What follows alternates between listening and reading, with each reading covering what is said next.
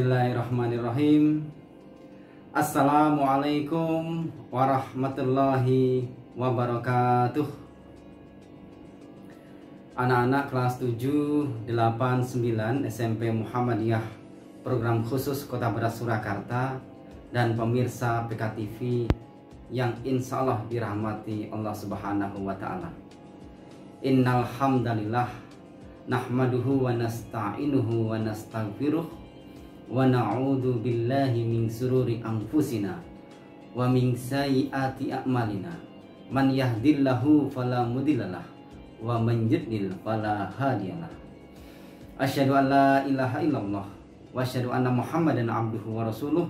Allahumma sholli ala Muhammad wa ala ali Muhammad. Amma ba'du. A'udzu billahi minasyaitonir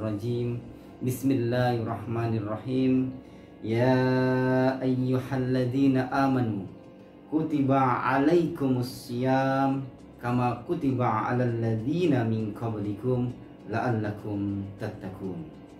Sadaqallahul adzim.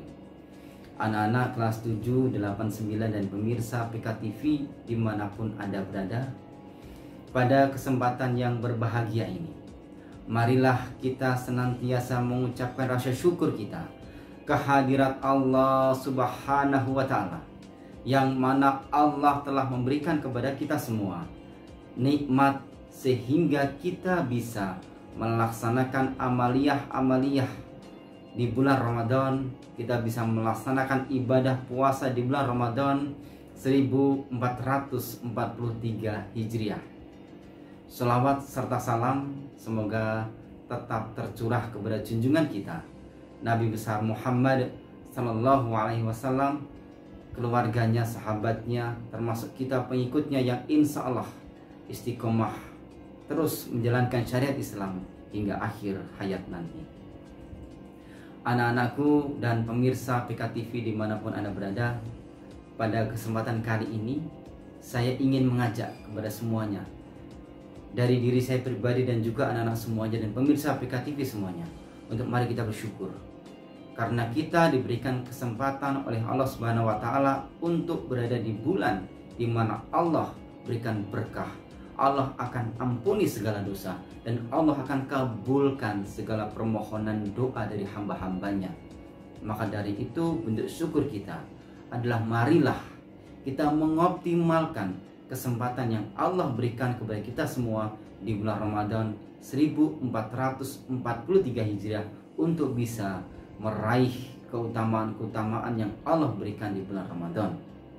Telah datang bulan Ramadan maka diwajibkan kita berpuasa. Pintu-pintu neraka ditutup. Pintu surga dibuka dan setan-setan dibelenggu. Dan kalau kita mencontoh anak-anak semuanya dari para sahabat mencontoh dari Rasulullah SAW mereka luar biasa dalam mengisi amaliyah-amaliyah di bulan Ramadan. Maka dari itu pada kesempatan kali ini saya ingin berbagi kaitan dengan amalan-amalan utama di bulan Ramadan.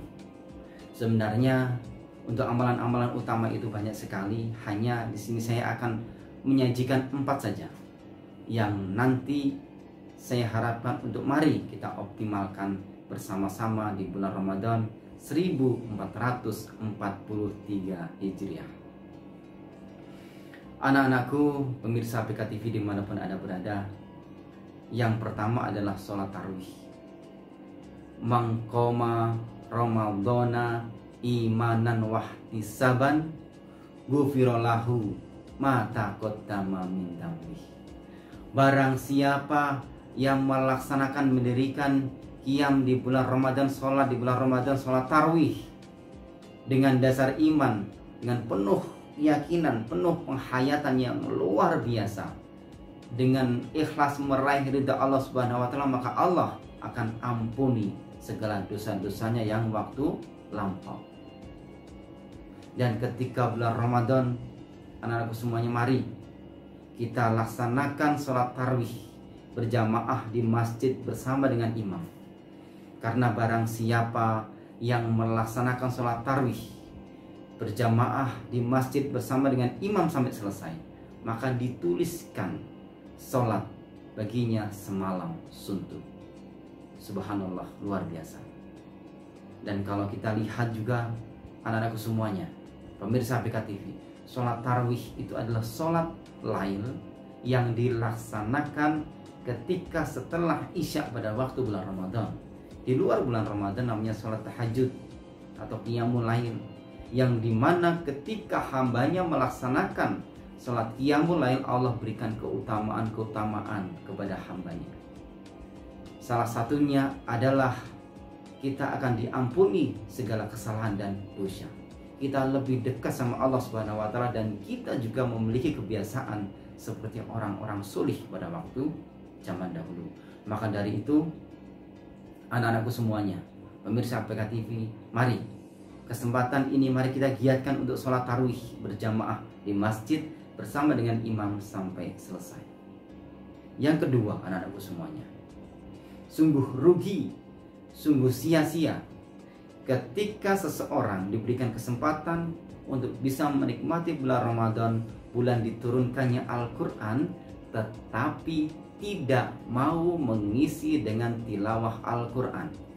Maka amalan yang kedua adalah membaca Al-Quran. Ketika seseorang tidak mau membaca Al-Quran, bahkan jauh daripada Al-Quran, maka ibaratnya adalah rumah yang kosong, tidak berpenghuni. Ibaratnya adalah rumah yang kosong dan tidak berpenghuni. Maka sungguh sia-sia. Karena Allah Subhanahu wa taala menurunkan Al-Qur'an sebagai pelajaran bagi hamba-hambanya Al-Quran sebagai obat, Al-Quran sebagai petunjuk dan rahmat bagi hamba-hambanya.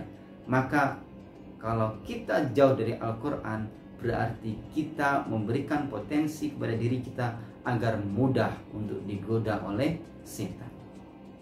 Mudah untuk disesatkan oleh setan.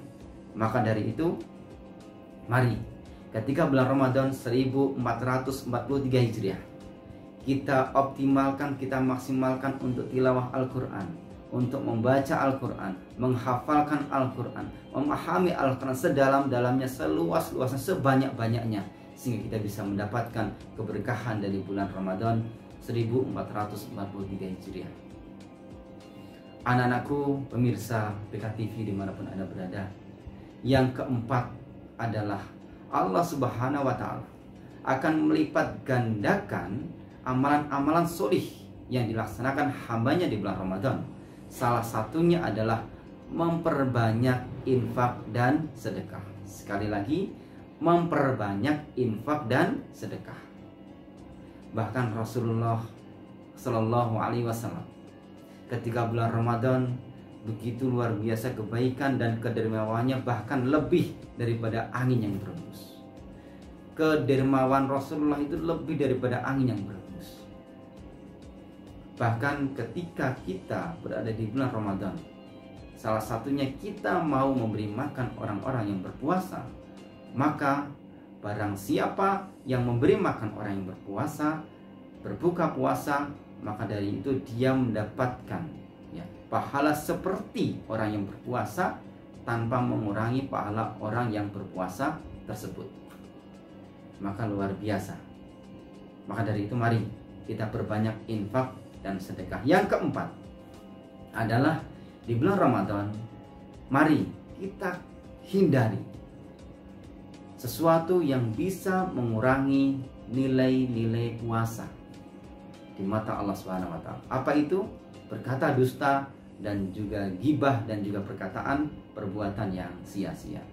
Barang siapa yang tidak meninggalkan dusta bahkan mengamalkannya maka Allah Subhanahu wa taala tidak butuh dari rasa laparnya, rasa hausnya.